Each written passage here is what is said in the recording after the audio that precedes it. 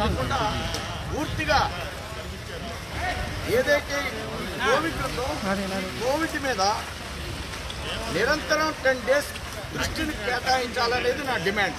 అందులో ఎందుకు నేను పది రోజుల దృష్టిని కేటాయించమంటానంటే ఇలాంటి సెంటర్స్ డెవలప్ చేయడానికి ప్రభుత్వానికి చాలా ప్రాంతాల్లో అవకాశం ఉంది ప్రైవేట్ కంటే.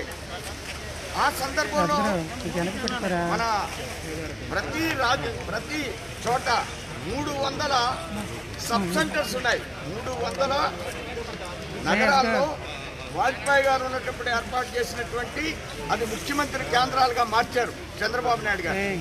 వాటిల్లో కూడా దీన్ని వినియోగించడానికి అవకాశం ఉంది. ఇలా ప్రభుత్వానికి సంబంధించినటువంటి అనేక చోట్ల ఇన్ఫ్రాస్ట్రక్చర్ ఉంది.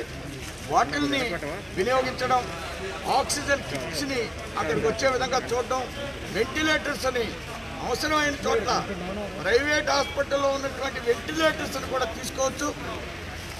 ఈ యొక్క విజయవాడ నగరంలో అనేక రకాలైన ఎంబీబీఎస్ కాలేజీలు ఉన్నాయి. ప్రైవేట్ ఎంబీబీఎస్ కాలేజీ నాకున్న ఇన్ఫర్మేషన్ ప్రకారం వారి దగ్గర చాలా వెంటిలేటర్స్ ఉంటాయి.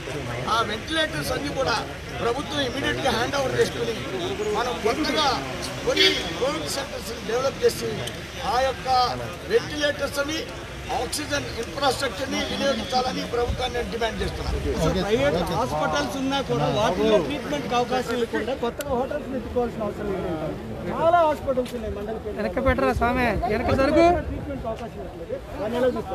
నేనేం చెప్తున్నానంటే టెన్ డేస్ ఓన్లీ ఈ కోవిడ్ విపరీతంగా పెరుగుతున్న పరిస్థితులు ప్రభుత్వం దృష్టిని twenty four into ten days అనేటువంటి ఒక ప్రణాళికతో వర్కౌట్ చేయాలని నేను డిమాండ్ చేస్తున్నాను.